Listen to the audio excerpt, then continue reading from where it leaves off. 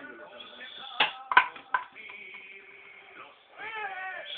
hijos del suelo, que soberbio el pichincha de cora, te aclamaron por siempre, Señor, y vertieron su sangre por ti.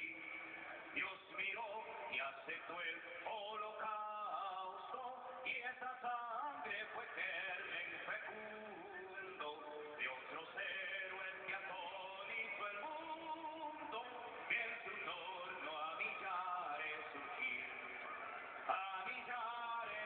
salen a la.